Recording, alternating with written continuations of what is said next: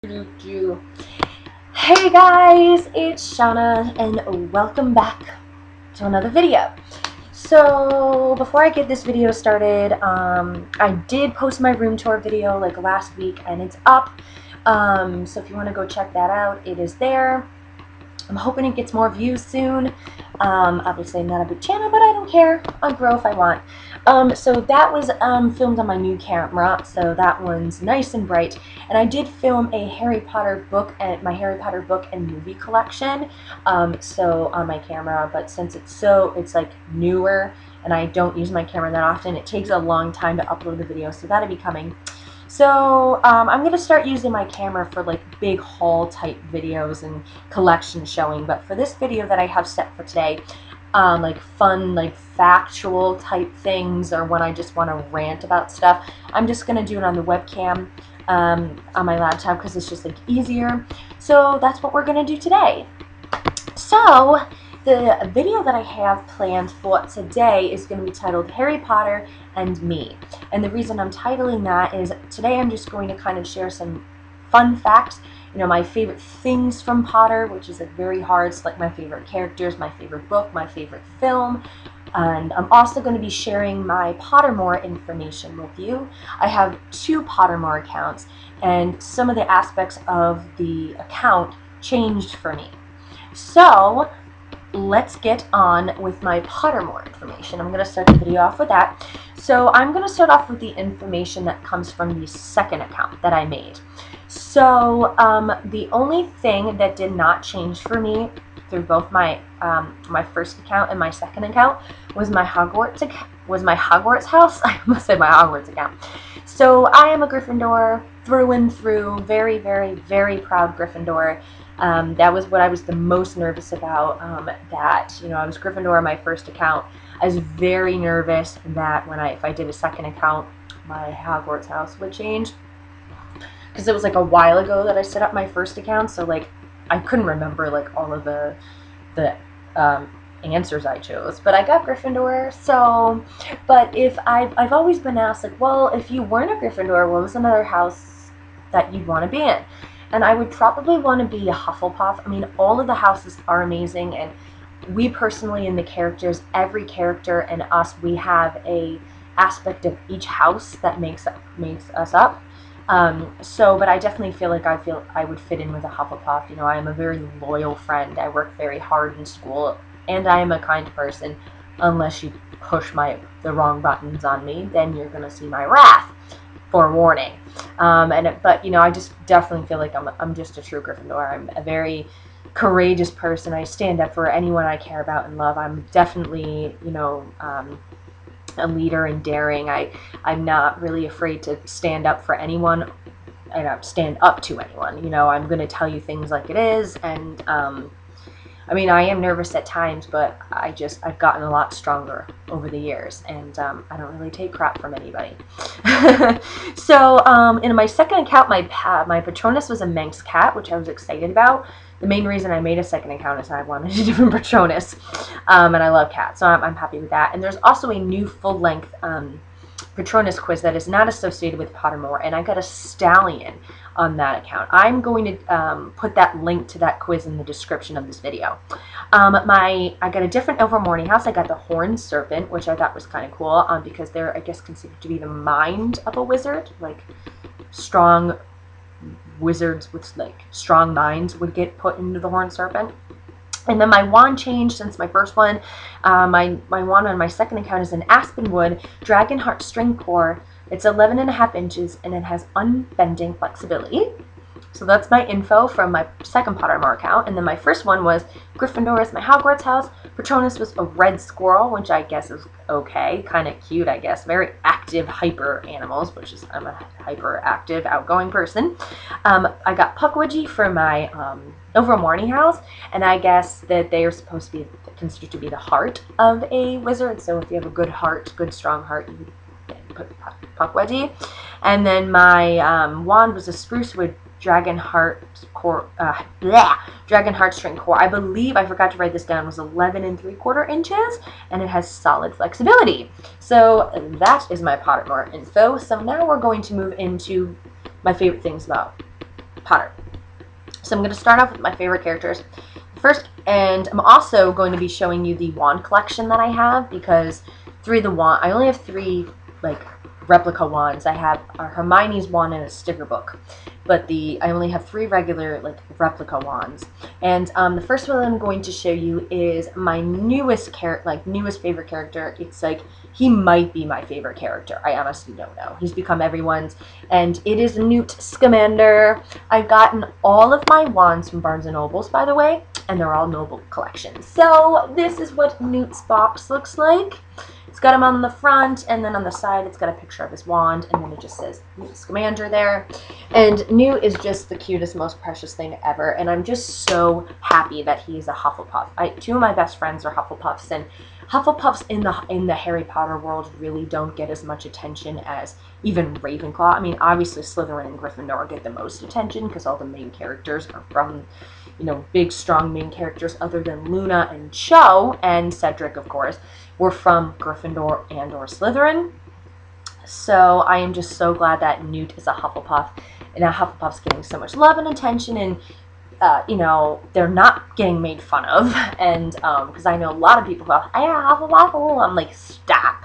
Hufflepuffs are amazing. There's no Hogwarts without all the houses, so so uh, this is Newt's wand, and Newt's wand is pretty simple. It's just like a light brown with some like nicks and digs at the top. It goes blue right there, and then it gets a darker brown around the base. And then inside it's like this pearlescent color. It's like silver. And I saw an interview where Eddie Redmayne got all upset because Daniel Radcliffe like held Newt's wand and he wasn't he's like he didn't like it that much. He definitely liked his Harry's one better. And he's like, what is this, Ikea? And I was like, oh, poor Eddie. Um, but, um, I mean, it's really simple. It's it's such a, it's just, a, it's simple. Because I find Newt to sim be a very simple person. And he's got all of these crazy, cool, and adorable creatures, but he's such a simple wizard. He's, you know, quiet, and he's kind of like, and it's just, he's so adorable. And um, he's just, he's an absolute crush um, person, and nobody else could have played him other than Eddie Redmayne. So there's Newt's wand. My um, next favorite character is Ron, and I don't have Ron's wand. His wand is my next wand I plan on buying. Um, Barnes & Noble has an extremely great um, selection of wands. Um, and his his they have a lot of his and um, Ron is just such a loyal friend. Um, there were so many times where Ron could have just said like "f this, I'm done. I can't stand being Harry Potter's friend, being the one who's always left in the dark." Like I mean, in Deathly Hallows Part One, when he leaves and he tries to coax Hermione to come and she doesn't, like Ron didn't have to come back and he did, and he saved Harry's life, and he destroyed a Horcrux. So, and a lot of people lately think, even during that period of, you know, when it was Potter era, but I feel like I didn't hear it during that era, but now, since it's been like over for six years since Deathly Hallows Part 2, this six years this summer, 2016 is when Deathly Hallows Part 2 came out, and I feel like so many people don't like Ron like I'm, I'm hearing lately i'm like well you could have your your own opinion and my opinion is i love him. And um, you know he's a friend who could have he left and he didn't have to come back. And he did because he's a true loyal friend and he really wants to be there for harry. And yeah.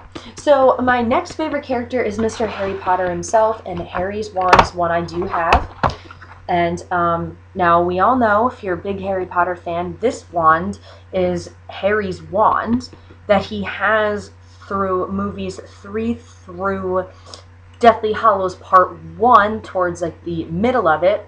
Um, in Sorcerer's Stone and um, Chamber of Secrets, this is not the wand that Harry has. It was a lot more simple looking, um, but now this is like he's got like a tree bark almost at the end, and um, or like a tree branch, and it's just really, really, really cool. And, um, you know, the reason why Harry's one of my favorite characters is because, well, one, he's Harry, but two, he's such a strong, courageous leader who, you know, never gives up on his friends and obviously is willing to go and die for his friends. Um, at the end, even though we know he doesn't. Spoiler, sorry. Um, hopefully you're a Harry Potter fan if you're watching my videos, um, and you already knew that. Um, and you know, he just he was the chosen one, and you see throughout a lot of the films he had to go through a lot of shit um, with people because they were fed up with him being the chosen one. But he didn't choose the life that he had, and um, he didn't choose to lose his parents when he was a baby. You know, just like he didn't choose to be put into the goblet of fire because he didn't put himself in there, and um, he just he never he never got down, knowing that the darkest wizard of all time was trying to kill him.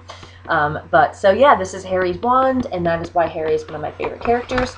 Now my next two favorite characters they come as a package deal because they're Fred and George, and there's no Fred without George until the end. um, but I don't have Fred and George's wand. Um, they're not a wands wands that you can kind of buy unless you go to the wizarding world um, but I do plan on I've been scoping them out on eBay I do plan on getting them and um, the reason why Fred and George are my favorite characters two of my favorite characters is because I definitely would have crushes on them if I went to Hogwarts because I'm a person who doesn't take her life seriously. Um, I'm sensible and know when I must and know when I must be mature. And I think that even we don't see it that often, but we know Fred and George um, Definitely feel like Fred and George would are like that as well. And um, James and Oliver are definitely just like their characters, and I adore James and Oliver. And um, I've seen many interviews where they're like, yeah, there's a lot of part of like there's a lot of us that is Fred and George, but we also know when to be sensible and mature about things. And um, I just respect that gratefully about them personally. I think they're beautiful, amazing people that do so much um, for this world. So we're very thankful to have James and Oliver. And um, I the reason why you know Fred and George really have touched my life is there was a period of time that I talked about where I went through something really horrific that happened to me physically, and um, that should never happen to any female or male. So you can probably have an idea of what I'm talking about. And um, I think I mentioned it in the previous video. And I was because of what happened to me, um, I was depressed for a year and um, you know I know my friends and my family were there for me, um, but you know I just I couldn't they couldn't get through to me, and um, it was it was Potter that was able to get through to me. It was able to be my escape and kind of other than in my protection because during this period of time I also walked away from my faith as well. So I I was angry at God for what had happened to me, and um, I just Fred and George really lifted my lifted me up and lifted my spirits. Um, they're they're adorable, quirky, mischievous.